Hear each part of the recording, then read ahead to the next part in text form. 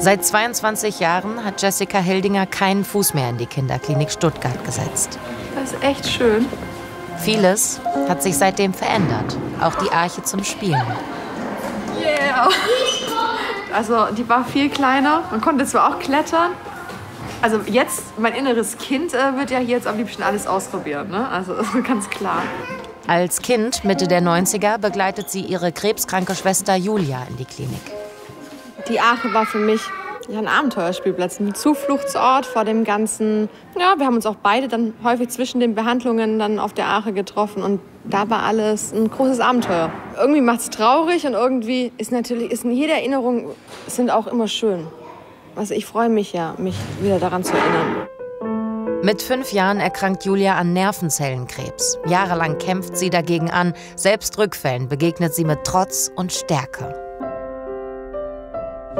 Ärzte sagen, dass ich noch, dass ich noch krank bin, aber ich glaube das nicht. Aber mir geht's gut und ich bin gesund.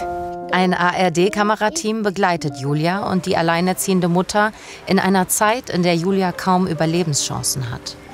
Ich verdränge den möglichen Tod immer. Ich denke immer, sie schafft's. In allem. Ich versuche es ja auch einzureden. Ich sage immer, Julia, du stirbst nicht, du packst es. Und sie glaubt dann auch dran. Zwei starke Frauen bleiben Jessica in Erinnerung. Ihre Schwester, frech und durchsetzungsstark. Die Mutter, eine echte Löwenmama, die Spenden sammelt, um Julia letzte Wünsche zu erfüllen. Einer dieser Wünsche, Arnold Schwarzenegger treffen. Er ist Julias ganz großes Idol. Julia! Servus! Wie geht's? Das kleine Mädchen wollte immer stark und unbesiegbar sein wie der Terminator. Nur unbesiegbar sein gegen den Krebs, diesen Traum kann ihr niemand erfüllen. Mit acht Jahren stirbt Julia. Ein Schock für die damals zehnjährige Jessica. Ein Trauma auch für die Mutter, die beginnt, ihren Kummer und ihre Erinnerungen in einem Buch niederzuschreiben. Doch bevor sie es beenden kann, erkrankt auch sie an Krebs und stirbt. Jessica wächst bei der Großmutter auf. Die Gräber in Eislingen sind heute ein wichtiger Ort, auch wenn das nicht immer so war. Meine Mutter hat mich schon mehr getroffen. Also das muss ich wirklich sagen. Da war ich auch irgendwie, da war ich in der Pubertät und dann war ich auch wütend. Also meine Trauer war tatsächlich erstmal Wut. Also ich bin dann die ersten zwei Jahre so demonstrativ nicht auf dem Friedhof. So, ich gehe ja nicht hin, nee. Erst Jahre später kann sie verzeihen, dass ihre Mutter gegangen ist.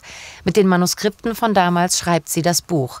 Mami tut Sterben weh, eine emotionale Reise. Nach dieser Hürde mit viel Weinen und äh, einfach diese ganzen Erinnerungen wieder aufarbeiten und auch zwischendurch ähm, habe ich es vielleicht auch mal kurz verflucht, weil es war auch so anstrengend, aber es hat doch, es hat auch Spaß gemacht. Ich war irgendwann gleich bei 170 Seiten und dann kam irgendwann der Moment, wo ich unglaublich stolz war. Also unglaublich stolz auf meine Mutter, auf das, was sie geschafft haben. In dem Buch habe ich mich auch irgendwo von meiner Mutter verabschiedet. Nicht in Trauer, vielmehr mit Freude will Jessica zurückdenken. An ihre Schwester, den riesen Michael Jackson-Fan. Oder an ihre Mutter, die Vollblutmama. Man sieht auch letztendlich, finde ich, an den Patienten, wie viel Kraft in einem steckt, ja. Und die Kraft hat der Angehörige auch. Und die Kraft muss er dem Patienten geben. Solange es geht, wirklich immer nach vorne gucken, zu kämpfen und ähm, das Beste aus dem Tag zu machen. Das Beste, was wir machen können. Das Beste aus dem Tag.